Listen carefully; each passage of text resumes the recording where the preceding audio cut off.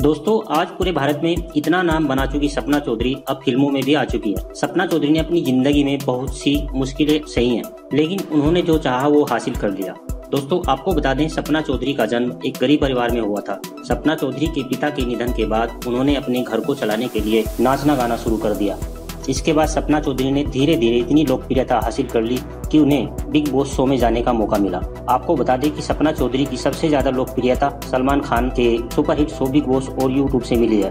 दोस्तों, जैसा कि आप सभी जानते हैं कि मुसीबत हर किसी को आती है, ऐसी एक बड़ी मुसीबत सपना चौधरी पर भी आई थी। दोस्तों, आपको बता दें, एक MMS वीडियो वायरल हुआ था, जिसमें सपना चौधरी किसी के साथ शारीरिक संबंध बनाती हुई नज़र आ रही थी। लेकिन आपको बता दें, वे सपना चौधरी नहीं थी, वो कोई और लड़की थी, जिसकी शक्ल सपना चौधरी से मिलती थी। और वीडियो में जो लड़की है, वह पंजाबी बोलती हुई नज़र आ रही थी। तो दोस्तों, आपको क्या लगता है? सपना चौधरी वाकई में किसी के साथ शारीरिक संबंध बना सकती है? हमें कमेंट बॉक्स में कमेंट करके ज़रूर बताएँ।